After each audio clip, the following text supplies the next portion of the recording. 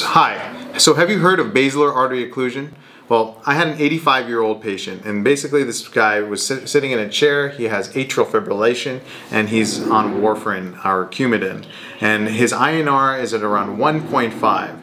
Um, so what happened is he was just laying down in his chair and then he felt a little bit dizzy so then he basically laid down and then he was um, awoken by his wife because he wasn't moving. So he woke up a little bit and then you know said a couple words and then he went right back down.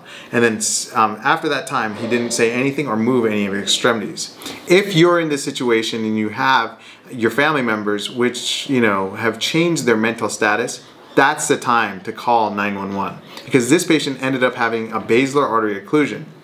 So in the back of the brain, there is this artery, the basilar artery. So imagine my thumb is the basilar artery. So right here, he had an occlusion. So, so it basically goes up the back of the brain and that blood supply allows you to move all of your extremities. When that blood supply is cut off, you can't move all of your extremities because that area carries all the tracts that go down. So breathing is affected, the ability to move extremities is affected, and the ability to even uh, move your eyes from left to right is also affected. So here's my one minute. If you have somebody that's in this altered mental status situation, we call it posterior circulation pathology.